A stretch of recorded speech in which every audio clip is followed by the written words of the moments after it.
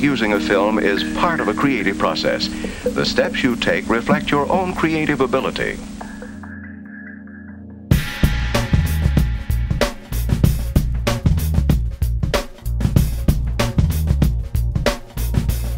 We hardly need to be reminded that we live in a world that is becoming more complicated and more crammed with information every day. One description for this vast quantity of data uses that overworked word, explosion. An information explosion.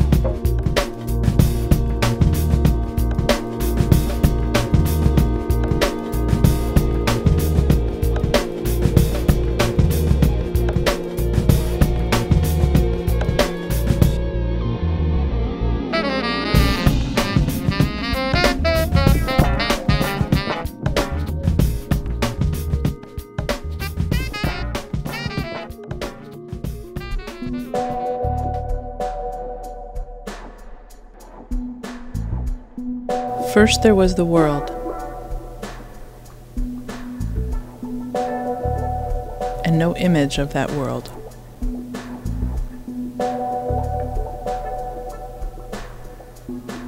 It was quiet for hundreds and thousands of years.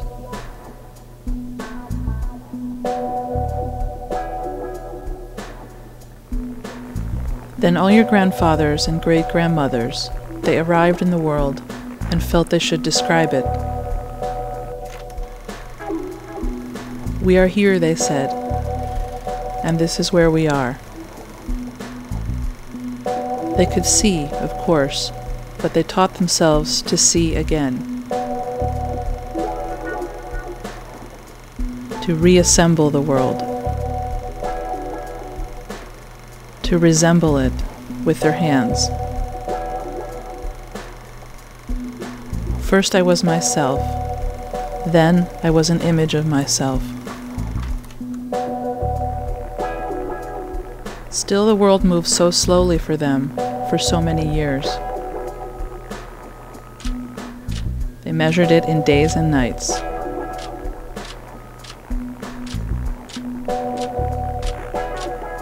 They made one thing at a time. They saw one thing at a time.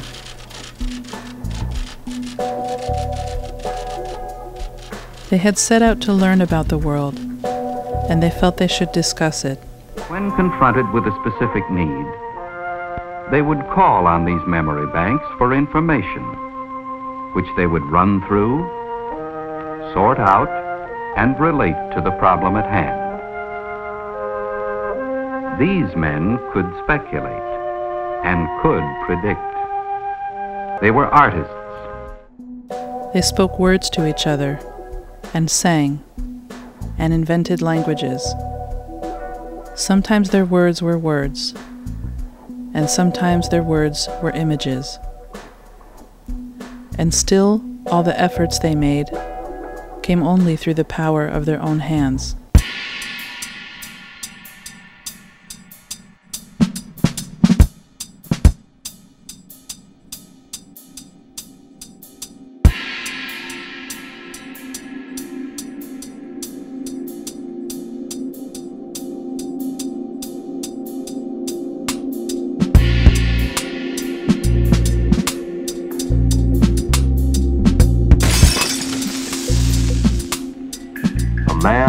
Lifetime. The lifetime of all mankind is but a brief moment in the long history of this earth of ours, and only yesterday in the history of mankind has man made any significant advance in his control over his earthly environment.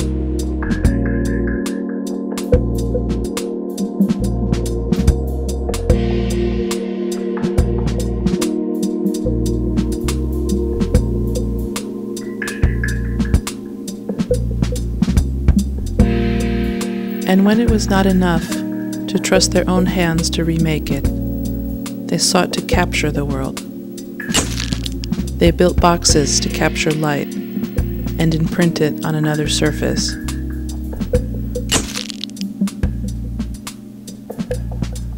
They looked at the world at a distance, through a lens, and made meaning out of shadows. What is here and what is elsewhere.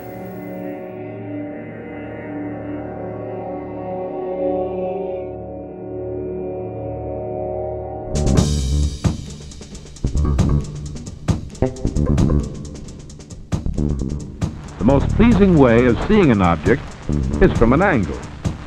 And when we see two or more sides, we get a feeling of depth.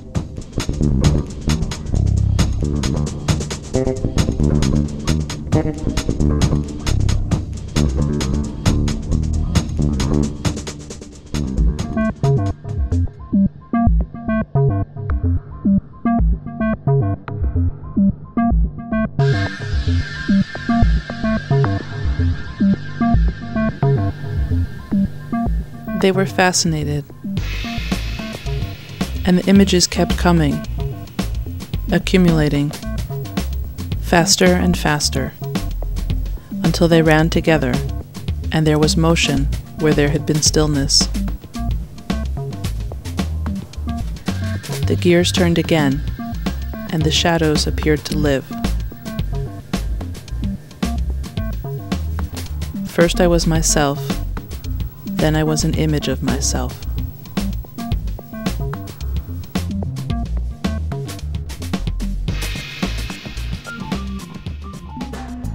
There is no more motion in any one of these drawings than on a postage stamp.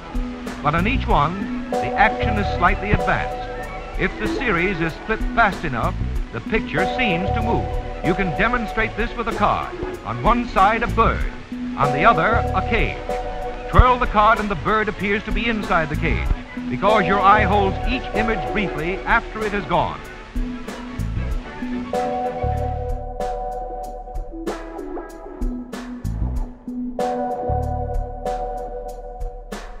In the historic scene shown here appears the inventor of the first talking motion picture, Thomas A. Edison, greeting some of his fellow pioneers in the March of the Movies.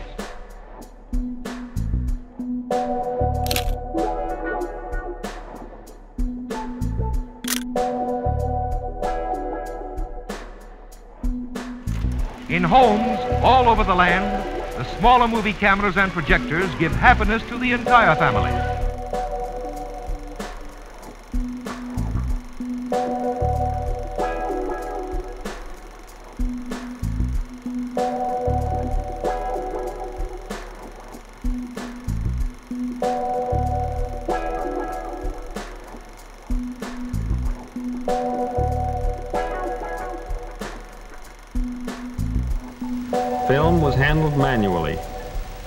Photographic quality was judged by eye.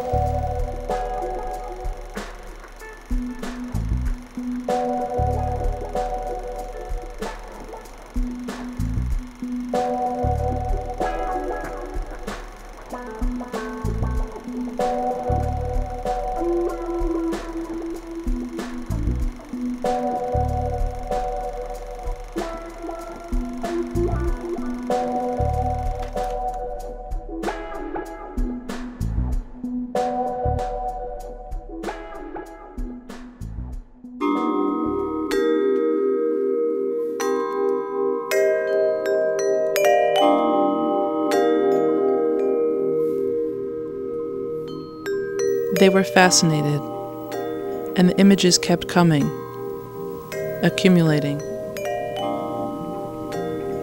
They translated everything through lenses, boxes, and machines. Even the sounds from the air became impressions, reproduced, transmitted, received.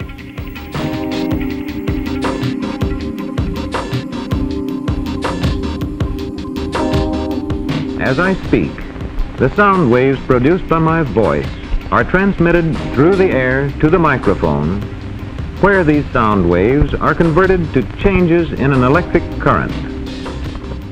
My words that have been recorded on the soundtrack appear like this, as I am now speaking to you from the screen. Many of you perhaps never realize that voice and sound can actually be seen.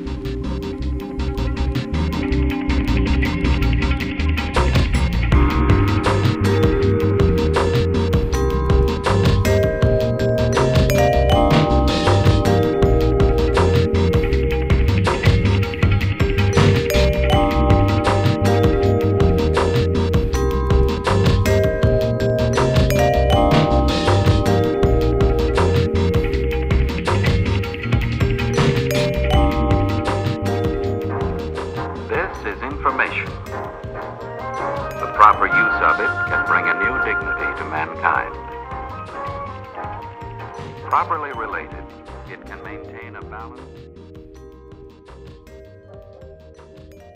It's Destination Unlimited. Magic power soaring through space to link man with man. Brilliant power lighting the way to a better world. We succeeded in extending human sight far beyond the horizon.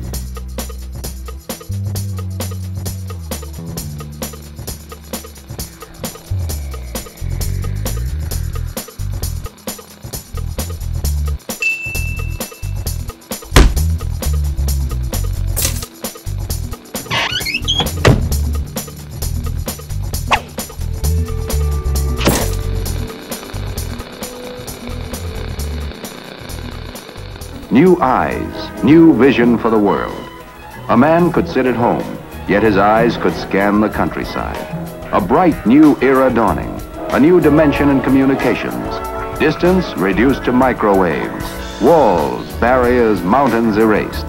Television, the ultimate triumph in man's search for sight beyond the range of the human eye. 1940, the nerve-tingling drama of a national political convention, the first ever televised. Philadelphia and New York were knit together by the electronic miracle of television.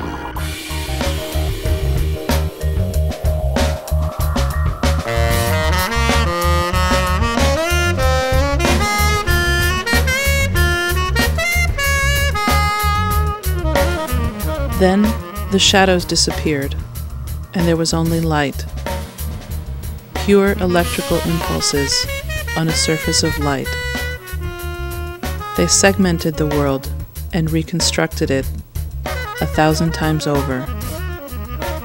The world was uprooted, was broadcast, was elsewhere.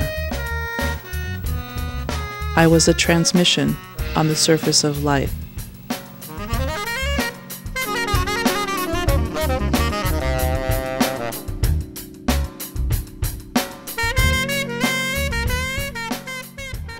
Traveled a long way, or an illusion.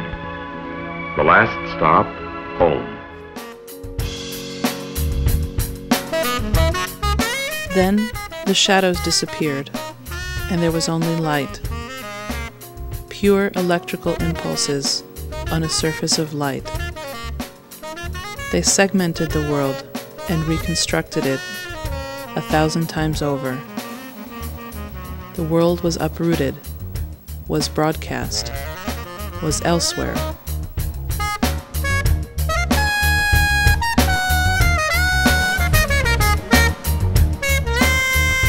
I was a transmission on the surface of light.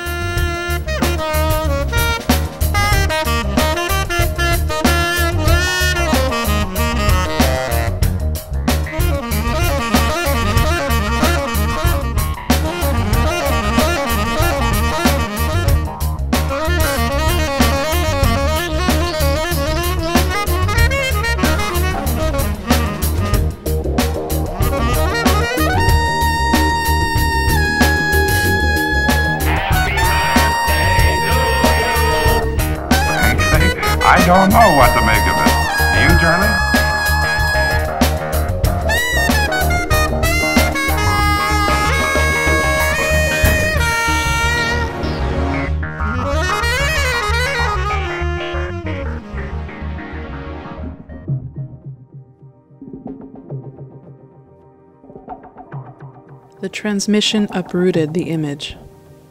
The image was rootless, untouchable, was elsewhere.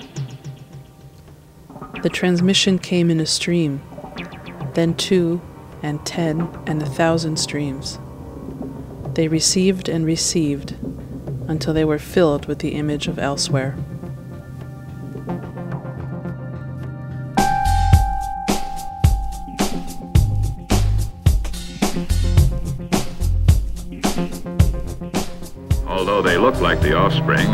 Between a television tube and a radar screen, display scopes do not show physical images transmitted from elsewhere.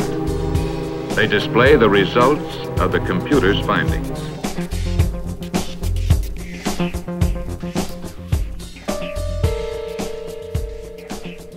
Meanwhile, all your ancestors busied themselves with machines. Machines to order the world, to contain, sort, and analyze it. Which records go where? When? In what quantities? The cards tell you.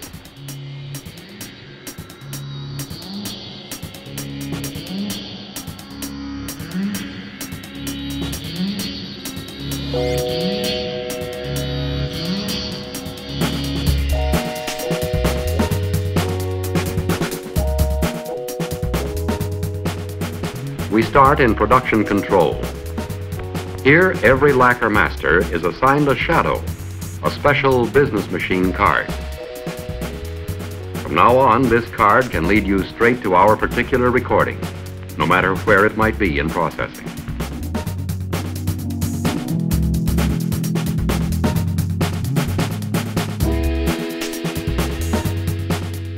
What they had learned about the world was spilling over all around them, and they needed machines to order the world, to contain, sort, and analyze it. With grooves, with magnets, with holes punched in paper, the machines wrote the story of the world in a code your ancestors could see and touch.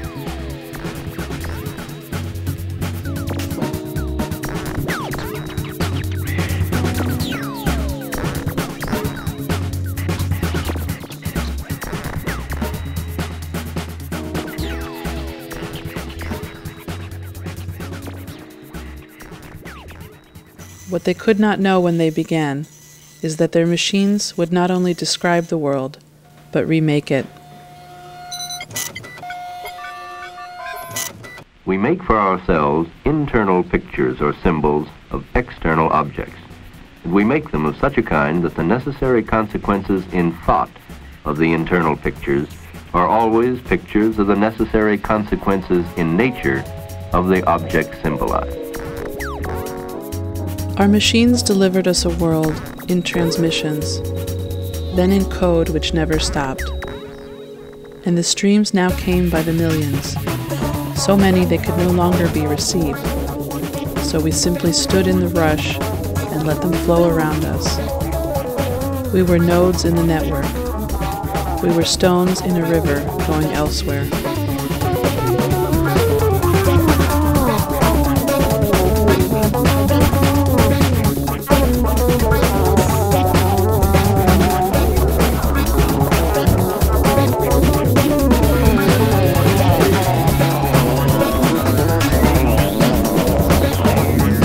There is one thing we are all interested in, it is our future. More than anything else, we want to know how we are going to get on.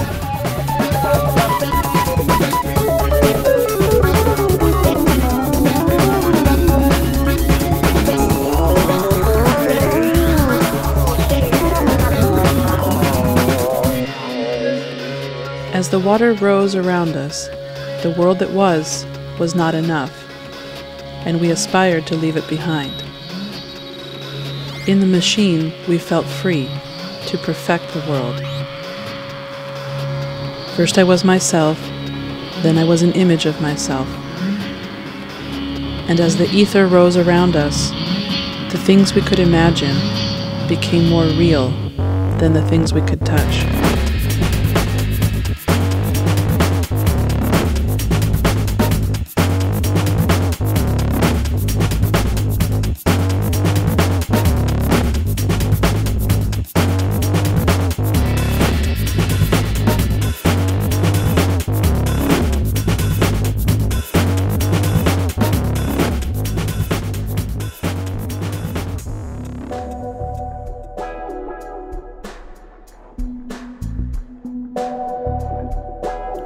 First, I was myself. Then, I was an image of myself. Then, I moved on the surface of light. Then, I was a transmission. Now I am a code. We were here, but always we aspired to be elsewhere, until elsewhere finally replaced here.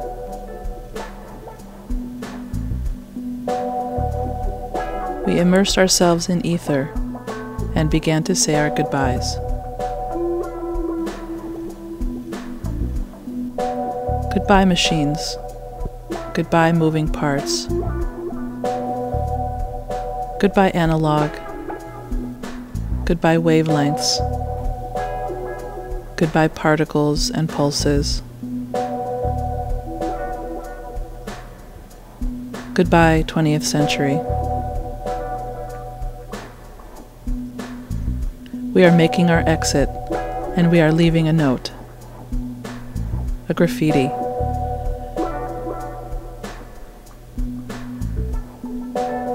We were here.